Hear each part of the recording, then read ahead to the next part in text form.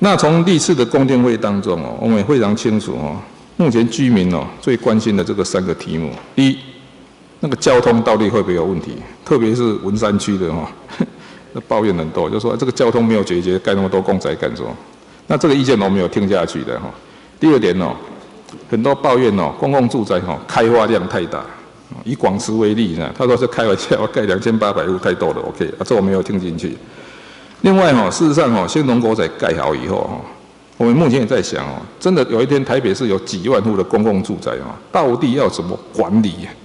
所以我们事实上哈，有用新农国仔哈当做 model 哈，有开始在在在做的哈。事实上，我们所谓在讲台北市的居住正义啊，公共住宅不是唯一的一唯一的部分了哈。我们经过整个思考以后啊，公共住宅只是整个台北市哈居住政策的一小部分，OK。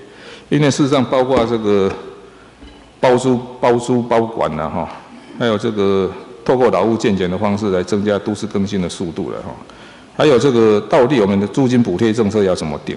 特别是房屋的增值税哈，怎么转一部分来做这个租金补贴哈？他们到设置岛的这个进度报告一下，目前都市计划哈，台北市的都委会已经审议通过。那这个在这个月哈，我们就送进这个内政部的都委会审议。黄宏计划哈，目前已经送到经济部在审核。那那经济部已经在转送这个行政院在审核当中。环境影响评估哦，我们不会为了现在哈图一时的方便，你知道去躲避环境影响评估哈，那造成以后有人来抗议啊更麻烦。设施岛当然是现住现住民居住正义了。这我们能保证哦，不会说因为设置岛开发哦，让本来有地方住的人变成没有地方住，我想这不可能的哈。